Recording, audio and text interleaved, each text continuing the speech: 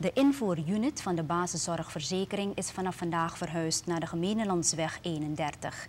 Deze sectie, die eerder ondergebracht was op het hoofdkantoor aan de waterkant, voldeed niet aan de eisen van de cliënten. Bij de ingebruikname van het nieuwe gebouw zei minister Joan de Goyo van Sociale Zaken dat hiermee de dienstverlening verbeterd zal worden. We waren op hoofdkantoor in een, een, kleinere ruimte dat eigenlijk niet voldeed aan de eisen op een goede manier om te gaan met de cliënten. Hier hebben we de zaak een beetje uitgebreid waarbij we meer mensen inzetten om de cliënten te kunnen interviewen. Om te komen tot een, een goed of, of afkeuring om in aanmerking te komen voor een basiszorgverzekering. Hoe kom ik in aanmerking voor een basiszorgverzekering? Uh, om in aanmerking te komen zult u dus een aanvraag moeten doen op, uh, hier nu. hier nu. Dat u hier een aanvraag doet en dan wordt het beoordeeld als u zelf het niet kan betalen. U moet zijn tussen de leeftijd 17 en 59 jaar. U moet het niet kunnen betalen, want dat gaan we onderzoeken. Uh, voorheen konden we het niet op een echte goede manier doen, omdat we binnen korte tijd weinig mensen een groot aantal moesten doen. Hier hebben we echt tijd om langer te praten met de mensen en we zullen zelf ook een, op het veld trekken om een, na te gaan in hoeverre wanneer iemand zegt dat hij het niet kan betalen.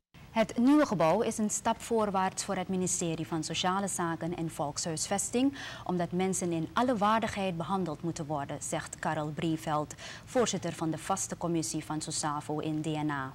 Brieveld geeft ook aan dat deze ziektekostenverzekering, ook wel basiszorgverzekering genoemd, heel belangrijk is voor onze samenleving. Het is bij wet geregeld dat iedereen verzekerd moet zijn. Dus uh, iedereen moet, moet medische zorg, over medische zorg kunnen beschikken. Een deel van de samenleving uh, moet, moet, doet dat door gewoon zelf de premie te betalen, zoals ik gewoon bij een verzekeringsmaatschappij.